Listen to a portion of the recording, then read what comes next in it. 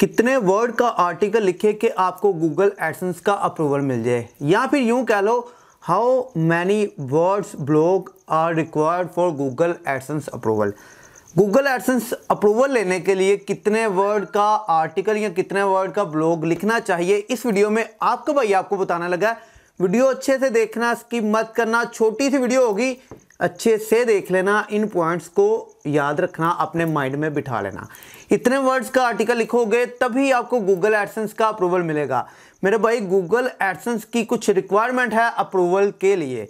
अगर आप उन रिक्वायरमेंट को पूरा करते हो तो आपको गूगल एडसेंस का अप्रूवल मिल जाता है।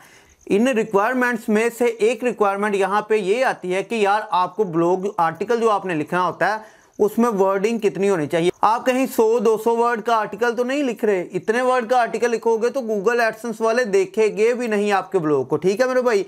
तो आपने क्या काम करना है यार? इस तरह से आर्टिकल लिखना है। कितने वर्ड का आर्टिकल लिखना है कि आपको अप्रूवल मिले? इस वीडियो में आपका भाई आपको बताना लगा, लेकिन उससे पहले यही कहूँगा जो अपनी हर वीडियो में आपसे कहता हूँ। चैनल पे पहली दफ़ा आए हो तो अभी कभी चैनल को सब्सक्राइब कर दो। साथ में बने बेल आइकन को भी प्रेस कर दो ताकि नेक्स्ट वीडियो आप तक आ सके। इसके अलावा मुझे यह भी बताना, क्या इस तरह की यूनिक वीडियोस आपके लिए बनाया करूँ या फिर नहीं? यानी कि इस तरह की वीडियो मेरे ख्याल से अभी तक किसी ने भी नहीं बनाई होगी कि कितने वर्ड का एक आर्टिकल लिखे कि आपको गूगल एडसेंस का अप्रूवल मिले। आई थिंक अभी तक किसी ने भी नहीं बनाई। आपका भाई बना रहा है इस तरह की यूनिक वीडियो अगर चाहते हो नीचे कमेंट्स में बताना, आपका भाई नेक्स्ट भी आपके लिए लेके आता रहेगा। उसके अलावा यार, आपको यही बताना चाहूँगा कि यार आपके भाई का ऑफ़िस कंप्लीट होने वाला है। कुछ दिन के अंदर आपके भाई का ऑफ़िस भी स्टार्ट हो जाएगा। मे भी नेक्स्ट वीडियो न्यू ऑफ़िस में आए। मे भी उससे नेक्स्ट वीडियो न्यू ऑफ़िस में आ जाए। तो चलो यार, यहाँ पे अपनी प्रमोशन बहुत हो गई है। बात कर लेते हैं कि आपने गूगल एडसेंस का अप्रूवल लेना कितने वर्ड का आर्टिकल आपको लिखना चाहिए? कितने वर्ड का ब्लॉग लिखना चाहिए? चाहे ब्लॉगर पे काम कर रहे हो, चाहे वर्ड पे काम कर रहे हो, दोनों पे एक ही तरीका ठीक है? एक इतने ही वर्ड का आर्टिकल लिखना होता है। गूगल एडसेंस वाले कहते हैं, उनका रूल है, उनकी रिक्वायरमेंट है कि मिनिमम आपका ब्लॉग आर्टिकल 300 वर्ड का होना चाहिए। आई थिंक ये तो हर बंदे को पता, लेकिन अब मैं आपको जो चीज़ें बताने वाला हूँ, वो हर बंदे को नहीं पता। आपका ब्लॉग आर्टिकल मिनिमम 300 वर्ड का होना चाहिए। कम से कम आपके ब्लॉग आर्टिकल के अंदर 300 वर्ड होने चाहिए। तभी आप गूगल एडसेंस की रिक्वायरमेंट को पूरा करते हो, उनके रूल्स को पूरा करते हो, ठीक है? लेकिन अगर आप 300 वर्ड से कम का आर्टिकल लिखते हो तो आपको एडसेंस का अप्रूवल नहीं मिलता, ठीक है? काफ़ी कम चांसेस होते हैं आपको एडसेंस का अप्रूवल मिलने के। अगर आप चाहते हो अप्रूवल मिले तो मोर देन 300 वर्ड आर्टिकल लिखा करो। अब बात कर लेते हैं कि आपको क्या वाकई में सिर्फ़ 300 वर्ड का आर्टिकल लिखना चाहिए? कुछ लोग आपको कहते हैं कि 5000 वर्ड का आर्टिकल लिखो, तभी एडसेंस का अप्रूवल मिलेगा। नहीं 5000 वर्ड तब लिखने पड़ते हैं जब आपके कॉम्पिटिटर का जो आर्टिकल है, वो चार हज़ार पैंतालीस सौ वर्ड का होता है। तब आप अगर 5000 वर्ड का आर्टिकल लिखते हो, उसके अंदर एस अच्छी करते हो, तब आपका आर्टिकल रैंक होने के चांसेस बढ़ जाते हैं। ऐसा नहीं है कि आपको एडसेंस का अप्रूवल मिलने के चांसेस बढ़ जाते हैं। मिनिमम आपके 300 वर्ड का आर्टिकल हो, तब भी आपको एडसेंस का अप्रूवल मिल जाता है। सपोज़ आप 300 वर्ड का आर्टिकल लिखते हो और आप यहाँ पे लिख लेते हो 30 35 40 आर्टिकल। तब आपको गूगल एडसेंस का अप्रूवल मिलेगा। इससे कम आर्टिकल लिखोगे तो गूगल एडसेंस का अप्रूवल नहीं मिलेगा।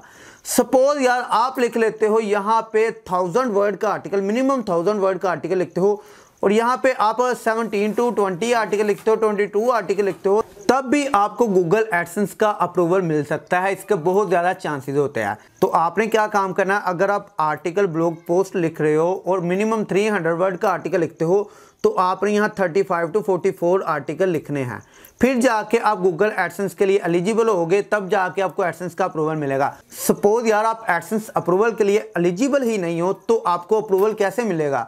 सपोज़ आपने स्टडी करनी है, ठीक है? बीएस में या सॉफ्टवेयर इंजीनियरिंग में आपने एडमिशन लेना है सॉफ्टवेयर इंजीनियरिंग की रिक्वायरमेंट है कि आपने पहले आईसीएस किया हो, तभी आपको सॉफ्टवेयर इंजीनियरिंग में एडमिशन मिलेगा।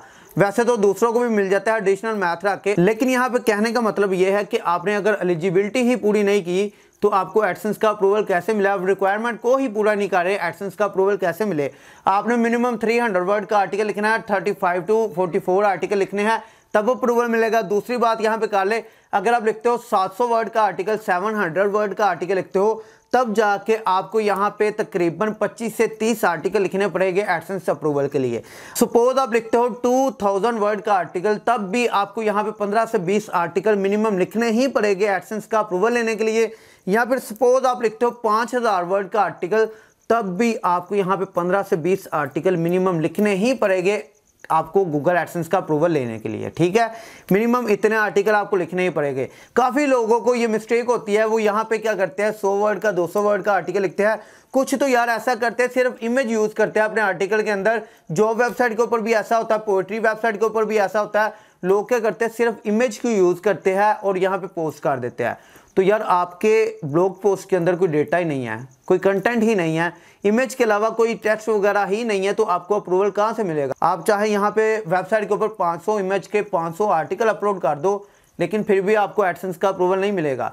जब तक आपने कंटेंट ही नहीं लिखा, आपको बहुत कम चांसेस हो जाते हैं। यहाँ पे यार, समझ लो यार, यहाँ पे zero point zero zero one percent chances है कि आपको एडसेंस का अप्रूवल मिले इमेज वाले आर्टिकल के ऊपर। सिर्फ़ इमेज ऐड है, कोई टेस्ट नहीं लिखा।